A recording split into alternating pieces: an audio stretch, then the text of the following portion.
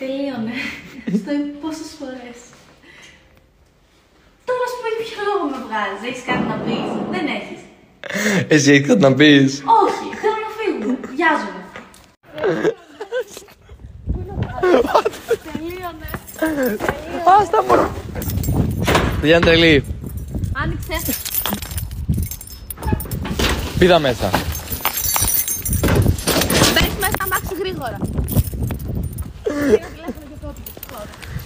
Κανείς δεν παίρνει τηλέφωνο.